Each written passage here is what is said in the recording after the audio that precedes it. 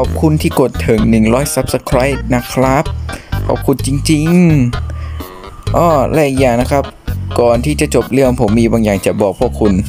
นั่นก็คือสาเหตุว่าทำไมผมถึงลงคลิปช้านะครับ ผมลืมบางอย่างไป นั่นก็คือ Wi-Fi บ้านผมพัง